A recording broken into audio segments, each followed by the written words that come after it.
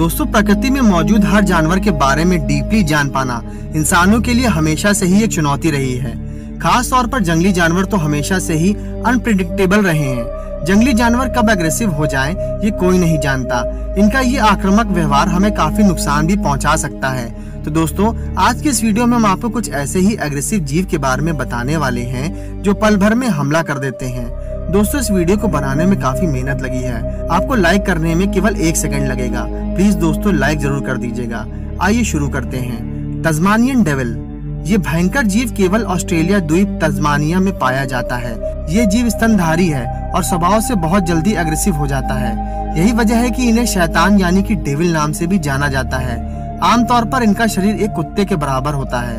Tasmania devil की विशेषता, उनका नाटा और गटीला शरीर, तीखी गंध और खाते समय ये घूरता है। इसके बड़े शरीर गर्दन के कारण इसकी काटने की शक्ति अपने वज़न के हिसाब से किसी भी स्तनधारी जीव से सबसे अधिक है।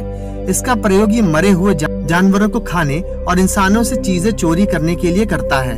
खतरा महसूस होने पर ये गुस्से में आ जाता है और ज़ोर ज़ोर से चिल्लाने लगता है।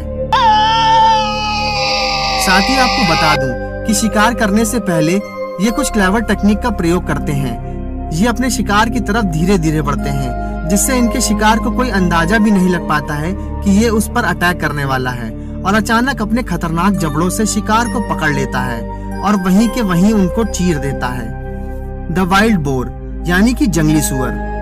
दोस्तों, जंगली सुअर मध्य यूरोप, उत्तरी अमेरिका और एशिया के कई क्षेत्रों में पाए जाते हैं। इनका वज़न 75 से 100 किलोग्राम तक होता है। जंगली सुअर की सबसे बड़ी विशेषता इनके घुमावदार, शार्प दांत होते हैं। कुछ लोगों का तो ये भी मानना है कि ये दांत इन जंगली सुअरों को भगवान का दिया हुआ वरदान है, जो इनके सेल्फ डिफेंस में काफ़ी मददगार होते हैं। इनकी खाल बहुत मोटी होती है और इनके शरीर में जो थोड़े बहुत बाल होते हैं, वे बहुत ही कड़े होते हैं। इनके लंबे मुँह का आगे का निकला हुआ भाग, यानी कि थूथन, आगे की ओर चपटा रहता है, जिसके अंदर मुलायम हड्डी का एक चक्र सा रहता है, जो थूथन को कड़ा बनाए रखता है। इसी थूथन के सहारे ये ज़मीन को खोद डालते हैं और भारी भारी पत्थरों को आसानी से उलट देते हैं। इनके सूंघने की शक्ति भी बहुत अच्छी होती है। ये शिकार को ज़मीन के भीतर ही सूंघ लेते हैं और उसे अपना भोजन बना लेते हैं। अनुभवी शिकारियों का कहना है कि जंगली सुअर का शिकार करना काफ़ी खतरनाक हो सकता है। इसलिए इनका शिकार छिप के किया जाता है। अगर आप गलती से भी शिकार करते समय चूक गए तो ये जंगली सुअर अपने नुकीले दांत से आपका शरीर चीर सकता है। ये सुअर काफ़ी आक्रामक होते हैं। यही कारण है कि इनका शिकार दुनिया के सबसे खूंखार शिकारी में से एक माना जाता है, द हिप्पोपोटामस। ये अफ्रीका में पाए जाने वाला सबसे खतरनाक जीव है। हिप्पोपोटामस दुनिया भर में अपने खतरनाक हमले के लिए जाने जाते हैं। हिप्पोपोटामस ने कई मगरमच्छ इंसानों और यहाँ तक कि शेरों पर भी हमला किया है। बीबीसी की रिपोर्ट की माने तो एक हिप्पोपोटामस प्रति वर्ष अनुमानित 500 जीवों पर हमला करते हैं। उदाहरण के लिए साल 2014 में इन हिप्पोपोटामस ने नाइजीरियन स्कूली बच्चों की नाव पर भी अटैक किया था, जिससे 12 छात्रों की जान चली गई थी। भोजन की तलाश में भटकते हिप्पोपोटामस अपने विशाल आकार और बड़े दांतों से किसी भी जीव पर हमला कर देते हैं। इनके शरीर का इतना बड़ा आकार होने के बावजूद ये एक समय में 20 मील की दौड़ लगा सकते हैं। द केप बफेलो दोस्तों, अब आप सोच रहे होंगे कि हमारी इस लिस्ट में हमने एक बफेलो को क्यों शामिल किया है? तो दोस्तों, मैं आपको ये बता दूँ कि अफ्रीका में पाए जाने वाले ये जानवर काली मौत के नाम से भी जाना जाता है। इसका सर छोटा, कान गटावदार और इसका शरीर काले रंग का होता है।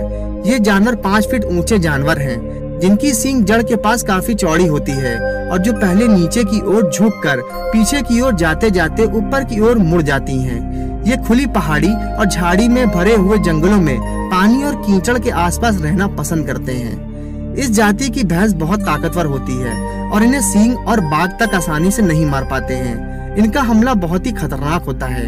ये जानवर सबसे ज़्यादा मनुष्य पर घातक हमला करते हैं। एक नॉर्मल भैंस सा दिखने के कारण आप इसके अटैक का अंदाज़ा भी नहीं लगा सकते, लेकिन मैं आपको बता दूँ कि ये अपने सींगों से इंसानों की जान तक ले लेते हैं। The grizzly bear. दोस्तों, ये उत्तरी कुरेशिया और उत्तरी अमेरिका में पाए जाने वाले एक भालू है। इसे उत्तरी अमेरिकी भालू कहा जाता है, क्योंकि इसका रंग भूरा होता है। ये जीवों के मांसाहार वर्ग में सबसे विशाल का सदस्यों में से एक है। इससे बड़ा केवल ध्रुवीय भालू, यानी पोलर बियर ही होता है। दोस्तों, हालात समझदार और शांत होते हैं, लेकिन खतरा महसूस होने पर ये भालू काफ़ी आक्रामक हो जाते हैं। अपने पंजों से ये इंसानी शरीर को जख्मी कर उसे चीर देते हैं। इसके अलावा ये अपने शिकार को तड़पा तड़पा कर मारते हैं। शिकार के घायल होने पर ये उसे सीधे सीधे खाना शुरू कर देते हैं। हालाँकि ये देखने में काफ़ी सुंदर होते हैं, पर ये अपने और अपने बच्चों को खतरे में देखकर खतरनाक और अग्रेसिव रूप में आ जाते हैं। दोस्तों, इस वीडियो को बनाने में काफ़ी मेहनत लगी है। अगर आप सच में सब्सक्राइब किए ना चले जाओगे तो मेरी मेहनत खराब हो जाएगी। और आपका सपोर्ट मुझे कैसे मिल पाएगा? इसलिए प्लीज़ दोस्तों चैनल को ज़रूर सब्सक्राइब कर लेना। अमेजोन रेन फॉरेस्ट हमारी धरती पर मौजूद सबसे बड़ा जंगल है। इसका आकार इतना बड़ा है कि ये एक या फिर दो नहीं, बल्कि पूरे आठ देशों में फैला हुआ है। यहाँ पर मौजूद पेड़ इतने लंबे और घने हैं कि सूरज की रोशनी को भी ज़मीन तक पहुँचने नहीं देते। और जब भी यहाँ कभी बारिश होती है तो उसे 10 मिनट से भी ज़्यादा का समय लग जाता है, उसे नीचे पहुँचने में। इसके अलावा भी यहाँ पर अक्सर लोगों को ऐसी चीज़ें मिलती रहती हैं जो इंसान की समझ से एकदम परे है। रिसर्चर्स का तो ऐसा भी कहना है कि इंसान अमेजोन के जंगल से ज़्यादा तो मार्स के बारे में जानता है। तो चलिए दोस्तों, एक नज़र डालते हैं अमेजोन में छुपे कुछ ऐसे ही रहस्य पर, जिन्हें लोगों द्वारा जाने अनजाने में ढूंढ लिया गया। लेकिन दोस्तों, इस वीडियो को बनाने में बहुत ही मेहनत लगी है। आपको लाइक करने में केवल एक सेकंड लगेगा। दोस्तों लाइक ज़रूर कर दीजिएगा। आइए शुरू करते हैं। बॉइलिंग रिवर धरती पर मौजूद नदी ठीक वैसे ही है, जैसे शरीर में बहने वाला खून। इसके बिना जीवन की कल्पना ही नहीं की जा सकती। लेकिन अमेजोन के जंगलों में खो, खोजी गई इस नदी को धरती का नर कहना गलत नहीं होगा क्योंकि जैसे ही कोई जीव इसके संपर्क में आता है तो उसे काफ़ी दर्दनाक मौत मिलती है। एंड्रस उजो नाम के इस जियो साइंटिस्ट को बचपन में इनके दादा एक ऐसी जानलेवा नदी के बारे में बताया करते थे जिसका पानी हमेशा उबलता रहता था। फिर बड़े होने के बाद इन्होंने नदी को ढूंढ निकालने का फैसला किया। पहले तो सबको उनकी बातें मनगढ़ंत लगने लगी और किसी ने भी इन पर यकीन नहीं किया। लेकिन 2011 में एंडरसन ने इस नदी को ढूंढकर अपने साथियों को हैरान कर डाला। उनका कहना है कि इस नदी का तापमान पूरा साल 80 से 100 डिग्री तक रहता है, जो कि इतना ज़्यादा है कि कोई भी चीज़ इसमें गिरते ही मिनटों के अंदर राख में तब्दील हो जाती है। वैसे तो ऐसा तब होता है जब किसी नदी के आसपास कोई ज्वालामुखी मौजूद हो, लेकिन हैरानी की बात है कि इस नदी के दूर दूर तक ऐसा कोई भी ज्वालामुखी है ही नहीं। रिसर्चर्स इस बात से भी हैरान हैं क्योंकि इस नदी के अलावा धरती के किसी कोने पर ऐसी कोई नदी देखी ही नहीं गई और वैज्ञानिक नज़रिए से तो ये मुमकिन ही नहीं है। Unknown bird. इस पक्षी को हाल ही में अमेजोन के जंगलों में ढूंढा गया है। अब आप पूछेंगे, ये कौन सा पक्षी है? हमें तो कुछ नज़र ही नहीं आया। तो यही तो खासियत है इस पक्षी की। ये खुद को छुपाने की कला में बड़ा माहिर है। इस बर्ड को जाना जाता है पोटू के नाम से, जिसे आज तक बहुत ही कम लोगों द्वारा देखा गया है, क्योंकि ये रात के समय में ही निकलना पसंद करते हैं। और सारा दिन ऐसे ही किसी टहनी के ऊपर बिना हिले डुले और पलक झपकाए कई घंटों तक ऐसे ही बैठे रहते हैं। जिन्हें देखकर ऐसा लगता है कि मानो ये इस पेड़ का कोई भाग ही हो। फ़िलहाल तो इस बर्ड के बारे में कुछ खास जानकारी नहीं है लेकिन इसकी आँखें समय समय पर अपना रंग बदलती रहती हैं। जहाँ दिन में ये डार्क येलो होती हैं, वहीं रात आते आते ही इनका रंग ऑरेंज या रेड हो जाता है। इनका शिकार करने का तरीका भी काफ़ी अलग है जिसके लिए इनको ज़्यादा दूर नहीं जाना पड़ता है। बल्कि आराम से एक ही जगह पर बैठकर अपना बड़ा सा मुँह खोल लेते हैं और फिर कीट पतंगे अपने आप इसके मुँह के अंदर चले जाते